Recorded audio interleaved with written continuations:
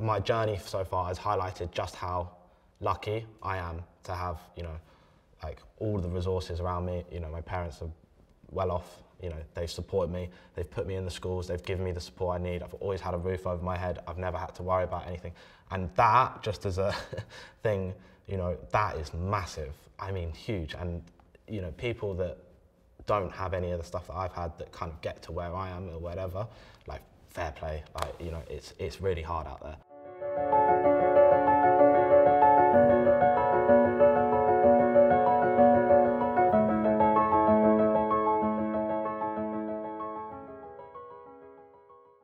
mum uh, has experience with working with people, so she was accepting of me. She didn't look at me differently, which I was lucky to have. So I knew it was possible for everyone else. Um, I grew up without a father, so he, uh, he wasn't around. My nan, she helped me a lot. She was always there for me. I have an auntie, an uncle, who my uncle is uh, also on the spectrum and has uh, severe dyslexia. So he was quite the same uh, role model to me. And probably my younger cousin, just emotional support, he was always there for me. Um, I had uh, a brother who is autistic. I had a, a father who was autistic. I know that he was autistic now, I didn't know at the time. And uh, back in those days, autism wasn't really a thing. Nobody really knew about it. And so my, my brother was particularly autistic. Um, my father, being autistic, didn't know how to, how, to, how to deal with it, which led to the separation of my parents. Um, we ended up moving into council houses. We ended up, you know, becoming very poor, living not a great life when, when I was a kid. Um, and so I didn't know it at the time that it was autism. My brother didn't know, my father didn't know, my mother didn't know. Uh, but looking back, it was, it was very obvious that that was the case. Actually, life now, we make the best of it what we can, but in those really early days, um, you have these ideals of what you think might happen. And it was nothing like that. And that was really lonely because we couldn't go out and have a day out. Or if we did, somebody would get hurt in the process. Um, usually my youngest, unfortunately. Um, so we have to just safeguard everything. Um, home life is pretty much everything's under lock and key to ensure that everybody stays safe. Knives and front door will stay locked. Um, yeah, we, we pretty much we have really good days as well though where we all sit and watch TV. We have nibble nights where we lay on a spread for a king um, and and make memories that way. You know, it's taken a while to realise is that I was trying to prevent triggers for Ben. So things that he was that he found difficult and uh, you know his sensory issues. So where he would find crowds difficult, bright lights, noise. I was trying to prevent all of those triggers to him having a mini meltdown or you know collapsing on the floor and because we live down by the sea, we go we go down to the coast a lot, and I started, you know, analysing tide charts, and I started over planning. So I was trying to prevent all these triggers. So every event that we planned, every day trip that we planned, I'd put all this pressure on myself because I was trying to prevent the triggers for Ben. And what would happen nine times out of ten is that I was so tense and anxious before we got out the door that Ben would pick up that I was tense and anxious, and then it wouldn't work out. And we go home, and I thought that was just a complete failure. So it's taken me a while to realise to just don't overplan, don't set high expectations to what you think is going to be a successful day trip or event. You know, if you go somewhere and you're only there for 15 minutes, you have to come away, it was a success because you tried. So to go on holiday for my family means planning. It means sitting down and going on the internet and showing the child where it is we're going, what the rooms look like, how the bathrooms are, because that's really important to my children. They're very funny about germs and things like that. So it's just a lot of research. And then also we try to go to countries where, not necessarily where they're aware of autism or whatsoever, but to countries where we know that we, we feel safe because one of my children's an absconder. He just runs off. So when we go to, say, for example, a resort, we need to ensure that it's enclosed. We need to make sure that there's security. We need to make sure that there's a plan. So we don't just get up and lay by the pool. No. Like our day has to be full of activities. It has to make sure that we know what we're doing from wake up to go to sleep. And food wise, a lot of time we bring a lot of things with us. So even if it's all inclusive type of holiday, we'd still need to bring what I call beige foods. They're things that are just beige because that's the need. So that's what we do. So yeah, it's just a little bit more difficult.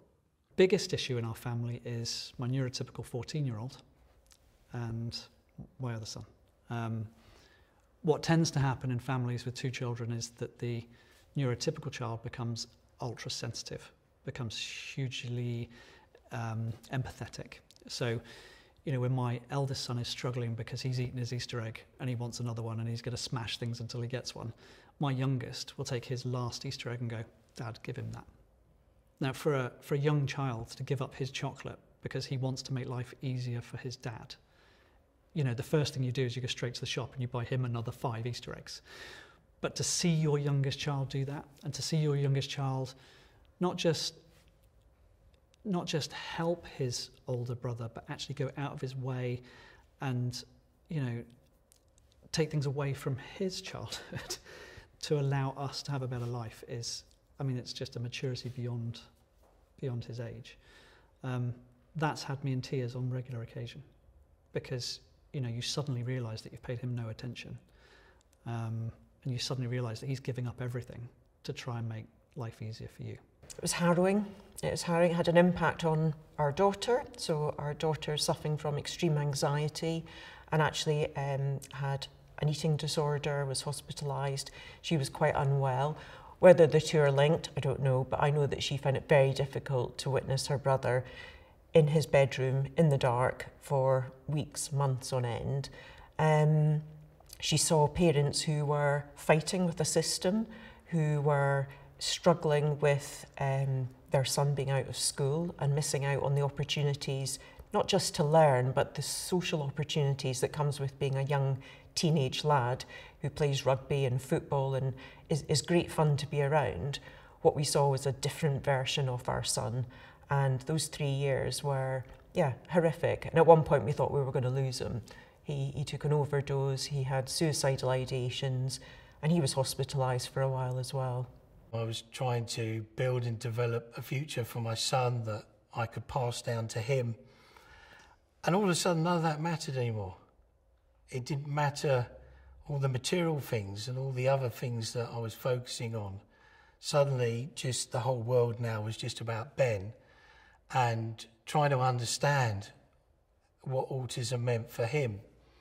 Um, so yeah, it changed. It changed a lot. It changed everything about how I felt and I made some significant changes in my personal life. Um, work consumed too much of my life. Um, I also decided to stop drinking because drink was a big part of the social side to my job. So I made some really dramatic changes. um, and I think, I mean, this is emotional when I think about this, but, but I think it was it was a massive moment in, in our marriage as well because I think up until then I was spending so much time away with work and focused on work and having a good time and all the things that were coming with that success um, that none of that mattered anymore and it actually brought us closer as, as a couple. Family life is good but because of having a really supportive husband but actually I always I always felt like somehow I'm a massive letdown, kind of because I don't do all those domestic things, because actually I'm the career woman, I'm driven by those things. But he knew that when he met me, he knew what he was getting himself into. But recently he actually said to me that he's really proud of me. And that came as a real shock.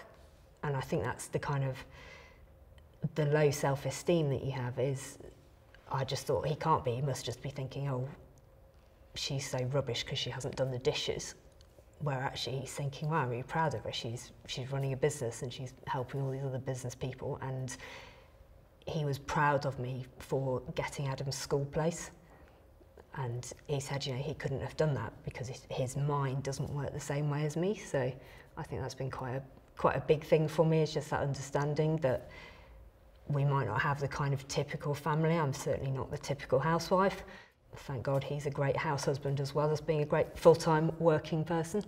Um, but yeah, it kind of works in that each of us brings something to that relationship and he puts up with me, but I do some good stuff along the way.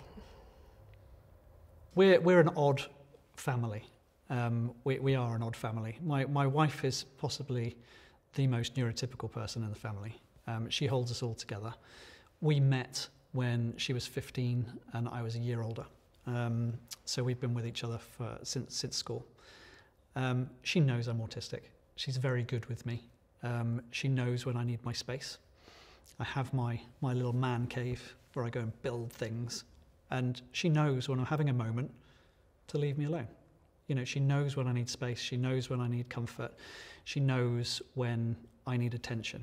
Um, and she's very good at it. And I think the way that she's grown up with me has helped her with my son because my son is effectively the, the same as me. You know, we don't go on holiday as a family because it's too difficult. So we take it in turns to go on holiday. So it's odd. I mean, I, I'll go to Fuerteventura on my own, um, have a week off, come back to madness, and she'll go off and see her friends in South Africa for a week.